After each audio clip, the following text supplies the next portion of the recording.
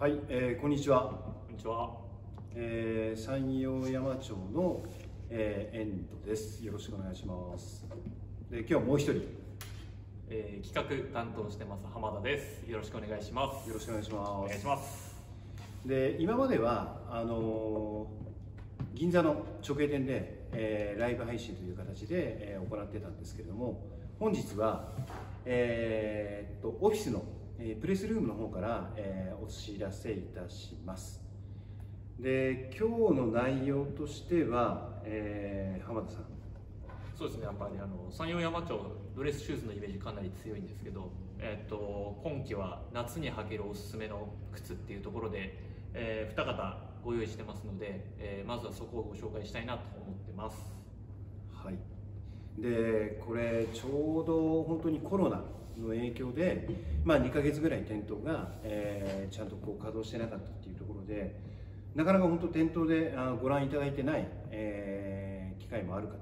というふうに思いますので、まあ、こういった本当機会に、えーまあ、山長のドレスシューズ以外にもあるんだよっていうのをご紹介できたらいいなというふうに思ってます、えーじゃあまずどちらからいきましょうかね。えっ、とじゃあまずやっぱこっちのビットローファーのはいビットローバー名前は？えー、ユージ。有事で山町の靴ってモデル名ついてるじゃないですか、はい。この有事ってどっから来たんですか？えーっと実はですね、まあ、これこの後説明もするんですけどアンライニングですごい柔らかい仕様になってまして、えー悠々自適、えーすごく楽に履いていただけるなるほど。っていうようなところからな「悠っていう一文字を取って、えーこちらが「悠字なんですけど、えーこちらが「悠一飾り気ない方を1にして、えー飾り気のある方を2にするっていうような、えー感じで名前を付けてます。そうですね。なんで意外と前前回か友次郎っていうんで名前の由来ですとか、えーまあ、山町の特徴である、まあ、いろいろなモデルに名前がついてるっていう話はしたんですけども、まあ、ほぼほぼじゃあ山町のラインナップには全て、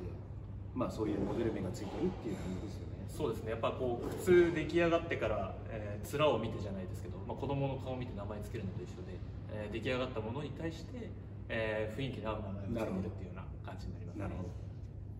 ていう意味ではじゃあこれが有事悠々自適に履けるちょっと飾りのある有事で。こっちがまあプレーンな、えー、U1、えー同じくアンラインドの柔らかい仕様のタイプのものですね、はいえーじゃあ詳細説明有事からじゃあ行きましょうそうですね、かはい。有事なんですけど、まあ、やっぱりパッと見で分かるようにやっぱビット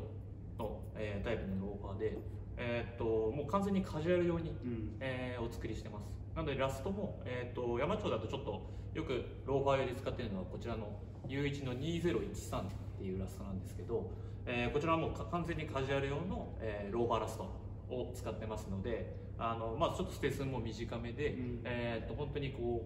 うショートパンツの足元だったりっていうような感じで合わせていただけるような、えーラストにしてます、まあ、特徴はやっぱりコアを抑えてますので、えー履いた時に足が抜けづらいっていう、えー履きやすさっていうのは求めながらも見た目をよりカジュアルにっていうような仕様にしてるタイプですね。なるほど。でアンラインドって結構やっぱりこうそこがレザーソールだったりするとかかとが抜け気味なんだけど、はい今日実はあの有事、えーショートパンツで履いてるんですけどあの結構かかと抜けないよ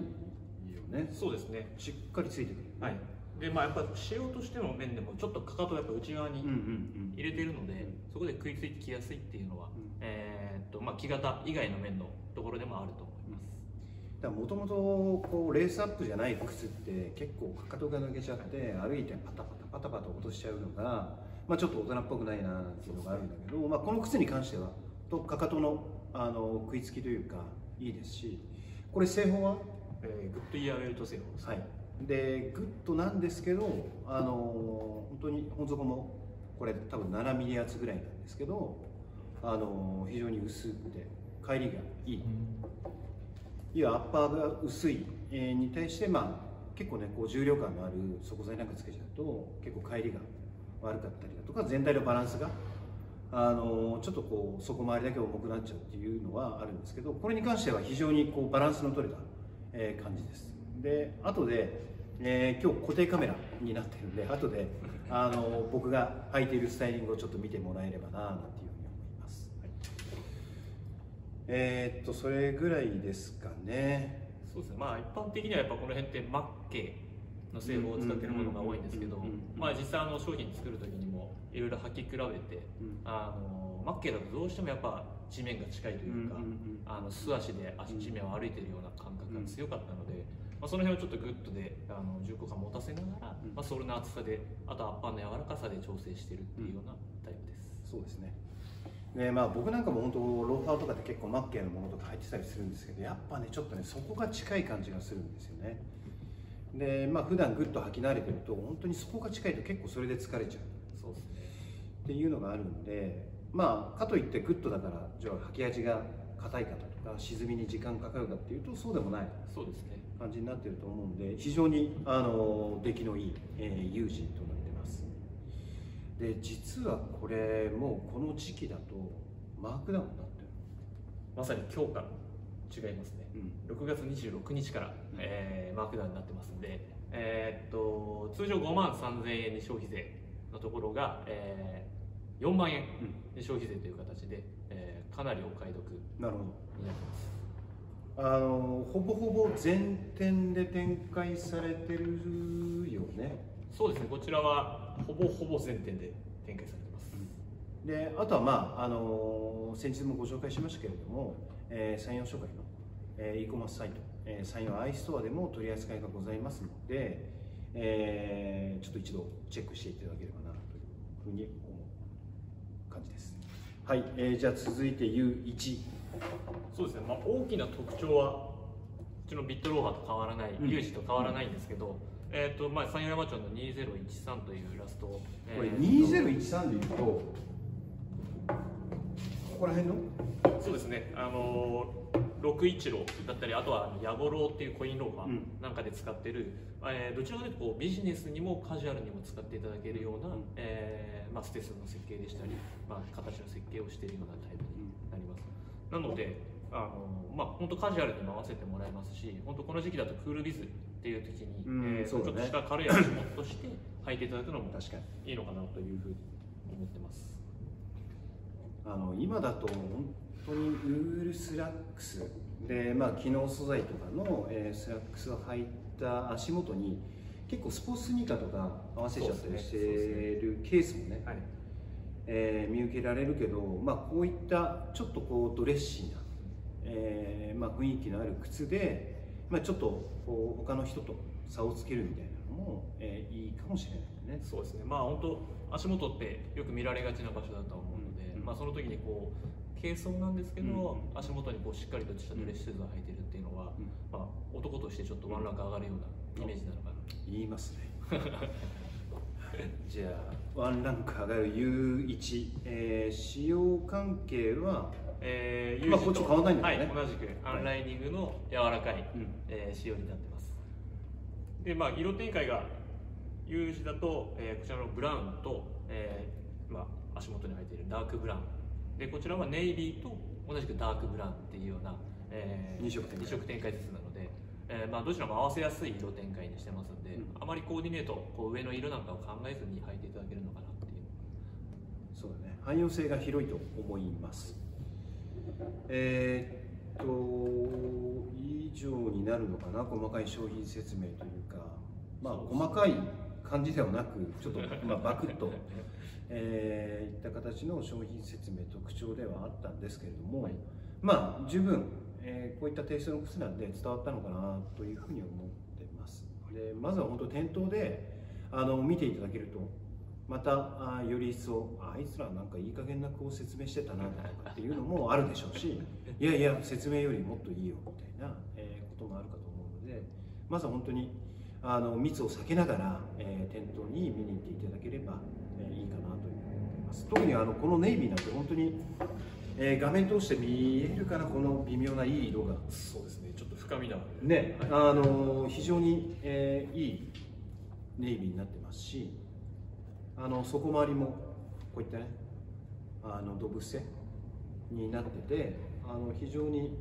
こうドレッシーな感じ、えーぶち抜きではない形でえーちょっと伏せてる仕様になってるんであのちゃんとこう最後底面も仕上げして、えーね、鍵型の、粧もついてるんであのそこ周り含めかなり本格的な仕様にはなってます。でこちらは、えー同じようにそうですね。マークダウンこちらもなっている。なっている、えー同じく5万3000円が、えー、4万円に消費税という形ですね。なるほどあのそうですね。そういう意味ではもともと山陽山町、えードレッシュ中心のブランドで、あの先日ご紹介した友次郎、えーというものをベースに、まあ、ビジネスシューズで、まあ、ある程度、あのお客様の支持を得てるのかなというふうに思ってるんですけれども実はシーズンごとにこういうちょっと、えー非ビジネスみたいなところはあのちょいちょい、えー展開してはいます。で今日ご紹介しきれないんですけどえーっとこの他にも例えば、えーデッキシューズであったり、えーまあ、デッキシューズだけじゃない、まあ、ちょっと山長メイドというカテゴリーの MD も。でまた山頂メイドに関してはまた今度ご紹介するのかそうですね。ね。あのーこちらも実はお買い得になっているっていう商品なので、ぜひ紹介したいな。じゃあ早く紹介した方がいいんじゃない？そうですね。そうだよね。えー次の紹介いつになるのかちょっとまだ未定なんですけれども、えー月内には無理なのかな、えー7月の頭には、えーご紹介できるかと思います。で今日ご紹介している U1U 字に関してはこれあのスウェードのアッパーを使っているので、えー次回のその山頂メール、えーご紹介した後にスウェードのお手入れに特化した形でまたこういった、えー動画で、えー配信できるような感じで予定はしてるよね。はい、そうですね。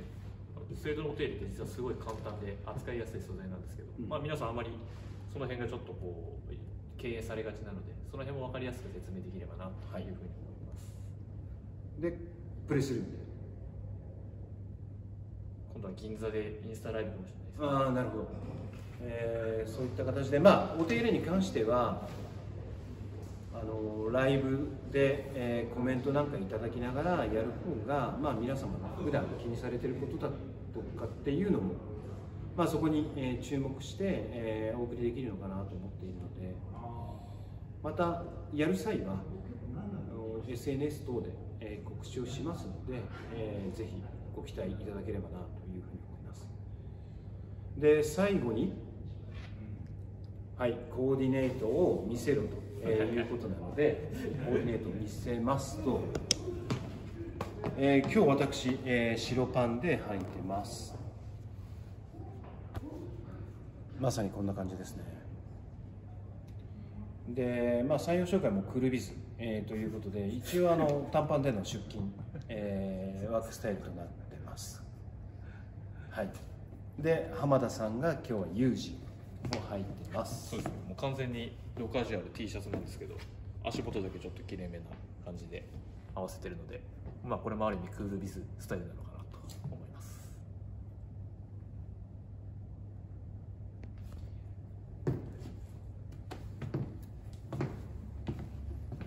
で最後商品、えーちょっとアップで抜いてもらってはいということで今日は、えーまあ、ゆいちゆじ、えー山町の夏靴ということで、えーお送りしました、えーなんかお伝えし忘れてることとかってあったりする？えー大丈夫ですね。大丈夫ですか？はい。あとはあの詳しい店員さんに聞いてください。ぜひ。はい、えーということで、えー最後までご覧いただきありがとうございましたありがとうございました。はい